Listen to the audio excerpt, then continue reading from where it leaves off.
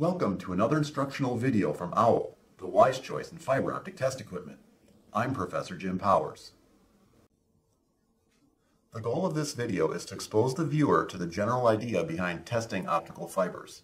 Fiber optic professionals of all skill levels may find it beneficial to watch this video several times until these basic concepts are recorded into long-term memory and become second nature.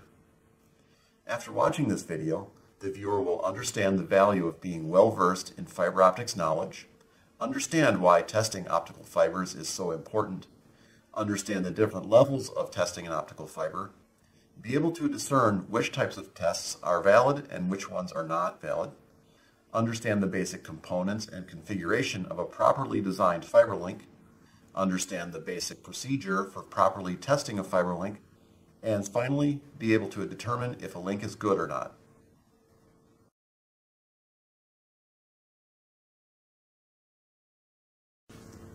For many years now, optical fibers, thin strands of glass that carry information using light, have been the obvious medium of choice for many different communications applications.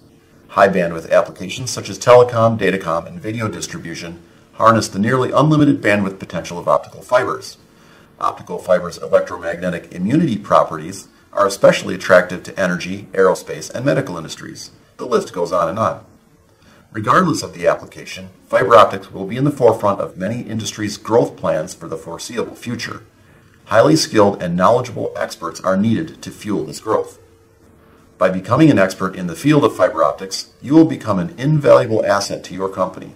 You will be able to recognize emerging fiber optics technologies and trends, know when a new technology will add value to your company's products and or services, and understand how to implement this new fiber optics technology. Immersing yourself in daily study by staying abreast of the advancements in fiber optic technologies will truly make you a valuable expert in your field.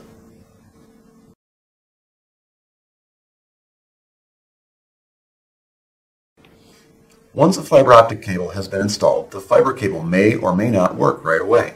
However, if the fiber cable is first tested with a positive result before the active equipment is connected, rest assured that connectivity problems will not be the fault of the fiber cable itself.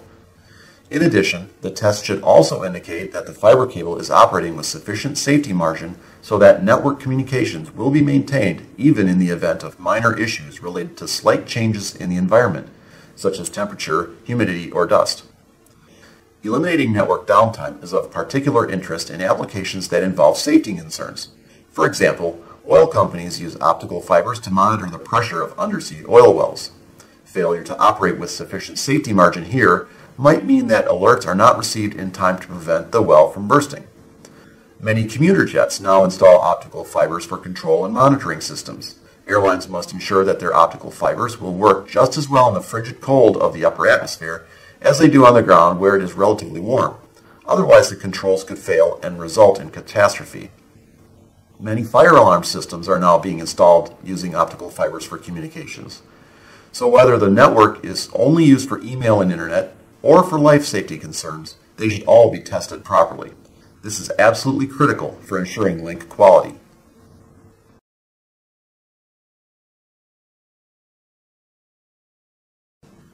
As we have just discussed, proper testing of optical fibers ensures the quality and reliability of an optical fiber link, emphasizing the word proper because some test methods do not give any indication of the quality of the fiber link. Understanding exactly what a particular test is doing goes a long way in making sure you make the right recommendations to your company and your customers. Up to this point, the word testing has been generally applied to a group of procedures used to determine the ability of optical fiber to carry light. In reality, testing in this context can actually be broken down into two main categories, test and measurement. Most people consider these words to be synonymous, but they are not, and here's why.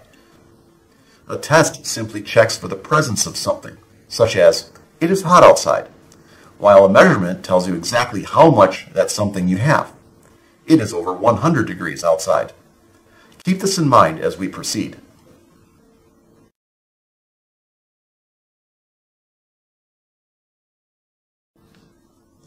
As an expert in this industry, it is important to understand the difference between a fiber optic test and a fiber optic measurement, as well as being able to determine whether a simple test is sufficient or if you need to perform a measurement.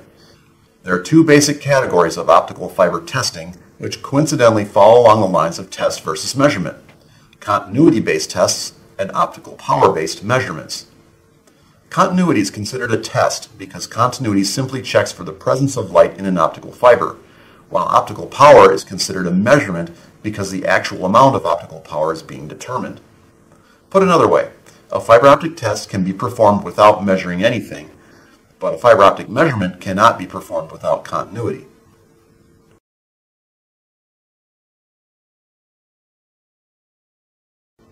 Continuity is simply looking for the visual presence of optical power, such as with a flashlight or visual fault locator. However, just because light is making it to the end of a fiber does not mean the fiber is good. Even a shattered fiber will pass light, and the human eye would have difficulty telling the difference between a good fiber and a bad one. Go, no-go is done by connecting communications equipment to a fiber link. Either it goes or it doesn't. A common go, no-go test would be connecting two computers to a fiber link and copying a file back and forth. Qualification is just another form of go, no-go, but in this case, the qualification tester takes the place of the computers. A qualification tester goes a step further by copying predefined data bit patterns across the link at different data rates and determining if any bit errors occurred. Even though an argument could be made that a bit error measurement is being performed, a bit error measurement cannot tell you how close you are to failing and thus cannot be used to determine link quality.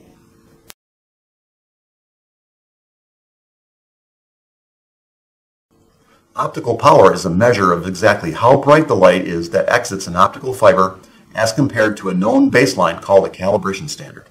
In the U.S., the National Institute of Standards and Technology, or NIST, maintains the official 1 milliwatt standard. Power meters that are NIST calibrated provide assurance that the power measurement is accurate. Optical loss is a measure of how much weaker a link got as it traveled across the fiber link. Too much signal loss and the link will not work. Optical loss can be compared to a link budget to determine how much safety margin the link has. Fiber link certification builds upon optical loss by calculating a link budget according to official set of rules called standard. Application standards provide a fixed link budget based on that particular application, such as Ethernet while generic standards provide per unit values for the various passive components of the link, such as optical fiber, interconnections, and splices, for the purpose of calculating an overall link budget. Obviously, measurements are more thorough than simple tests, and thus measurements should always be performed when determining link quality when applied to fiber optics testing.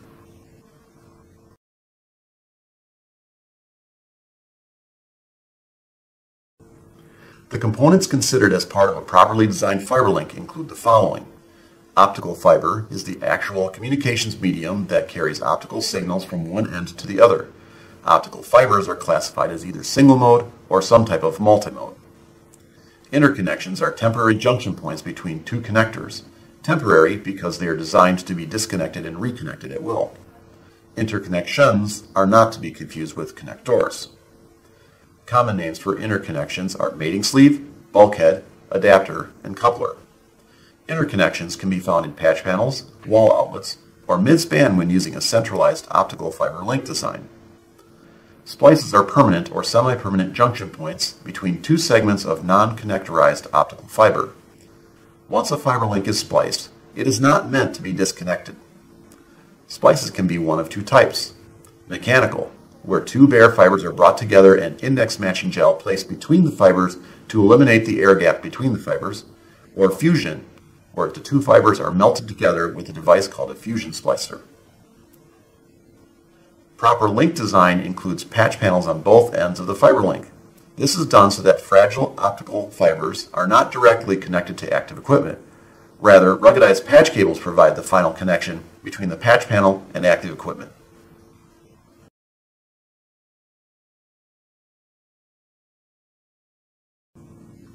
Testing a fiber optic cable is not much different than other cable measurement methods, where two units, a transmitter and receiver, are connected to patch panels on opposite ends of the link to take a measurement. With fiber optics, this is done with a test kit containing a light source and an optical power meter. The light source shines light into one end of the fiber, and the power meter measures the light at the other end. However, this type of measurement is only meaningful when you know exactly how much light you started with. To measure the starting value, simply connect the power meter and light source together with a short segment of optical fiber called a patch cable, usually 1 meter long, and record the value, a process which we call setting a reference or zeroing. Optical fiber measurements are usually expressed in units called decibels, which can be somewhat confusing to beginners since fiber measurements are often shown as negative numbers. Just to keep it simple, when a decibel value is negative, it just means that the light being measured is dimmer than a baseline power level. Consider this helpful illustration. Picture a facility with ground level being floor 0. The floors below ground are given negative numbers, so floor minus 20 would be 20 levels below the ground floor. If you start at floor 20, then take an elevator to floor minus 24, then you have dropped 4 levels.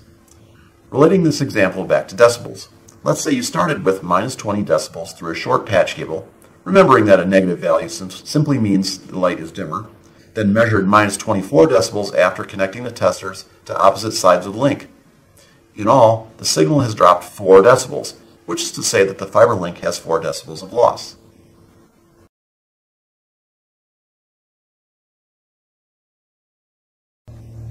Now, you might be asking yourself, how do I know if 4 decibels is a good reading? The answer is, it depends. Each link will have a different configuration and thus will have a different allowable loss limit. There are three main parts to a fiber optic link that contribute to the total allowable loss number. The first part is the optical fiber itself. The main thing to remember here is that the longer the fiber, the more loss will occur. For example, a 200-foot link will have more allowable loss than a 100-foot link. Optical fiber loss values are given in decibels per kilometer. The second part of a fiber link are interconnection points, such as patch panels, wall outlets, or other mating sleeves. The proper term for these connections is mated pair, since you are mating a pair of connectors together. Connection loss is given in decibels per mated pair. The third part of a fiber link that contributes to loss is a splice. A splice is different from a mated pair in that two fibers are being brought together without the use of connectors. There are two types of splices, mechanical and fusion. Splice loss is given in decibels per splice. Add together your fiber loss plus connection loss plus splice loss, and you end up with your total allowable loss for that link, which is also called a link budget. Organizations such as the TIA, IEEE, and ISO develop sets of rules called standards that are used to determine your link budget. In most cases, the TIA standard is the best option. So, once you know how far you did fall, in other words, the loss rating, and how far you can fall, in other words, the link budget, there are two possible results. Good, or the loss reading is within the link budget, which can also mean pass, or not good. The loss reading exceeds the link budget, which can also mean fail. When you get a pass reading, you can say that the fiber link has been certified using the chosen standard. Certification is the best way to assure the quality of the fiber link installation. In addition to determining pass-fail, you can also see how close you are to the pass-fail threshold. This gives you assurance that the fiber link is operating with enough safety margin to overcome slight changes in the environment or small bits of dust that may have collected on fiber connectors. This has been another instructional video from OWL, the wise choice in fiber optic test equipment. For more instructional videos, or to learn more about OWL's products in general, please visit owl-inc.com. I'm Professor Jim Powers. Thanks for watching.